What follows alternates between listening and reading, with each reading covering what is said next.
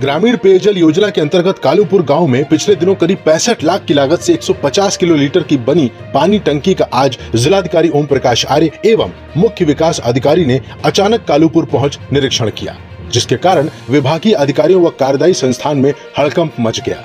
पानी टंकी के निरीक्षण के दौरान जैसे ही जिलाधिकारी की नज़र पानी टंकी के बाउंड्री वॉल पर पड़ी, वे भड़क गए। इस नवनिर्मित टंकी की बाउंड्री वॉल में जगह जगह दरारें थीं। इसके बाद पंप हाउस, ओवरहेड, पेंटिंग आदि के साथ ही निर्धारित ज़मीन की जगह कम ज़मीन में पानी टंकी बनाई गई। साथ ही उन्होंने जब डीपीआर दिखाने की बात विभागीय अधिकारियों को कही तो वे नहीं दिखा सके। जिसके बाद जिलाधिकारी ने मानक के विपरीत पानी टंकी का निर्माण पाए जाने पर नाराज़गी ज़ाहिर की। साथ ही उन्होंने जल निगम तृतीय के एई एवं अवर अभियंता के वेतन से रिकवरी करने के आदेश मातहतों को दिए। मालूम हो कि सरकार लोगों को ग्रामीण स्तर पर स्वच्छ पेयजल उपलब्ध कराने को लेकर प्रयासरत है। इसी क्रम में जनपद के विभिन्न गाँवों में इस योजना के तहत पानी टंकी का निर्माण कराया गया, ताकि लोगों को स्वच्छ और शुद्ध पेयजल उपलब्ध हो सके। जानकारी के अनुसार इस पानी टंकी का निर्माण पिछले वर्ष प्रारंभ हुआ था।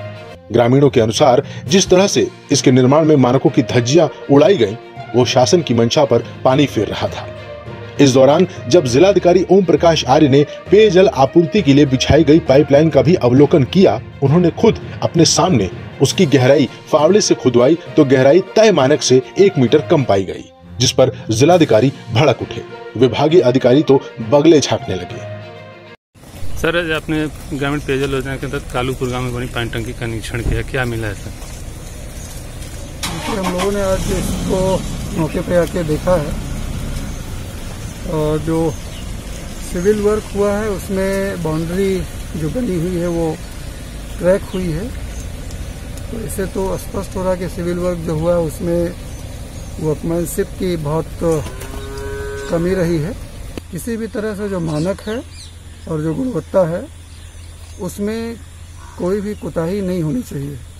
अगर ऐसा होता है तो जो विभाग के उच्च स्तर के अधिकारी हैं, जनपद स्तर पे, उनके खिलाफ कार्रवाई करेंगे।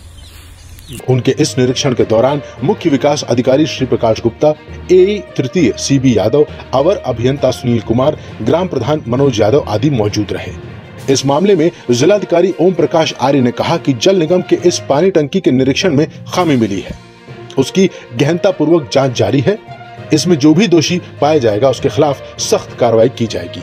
कहा कि मानकों के साथ कोई समझौता नहीं किया जाएगा। ऐसे ही और भी हमारी खबरों के लिए हमारे YouTube चैनल को सब्सक्राइब करें और बेल आइकन को ज़रूर दबाएँ।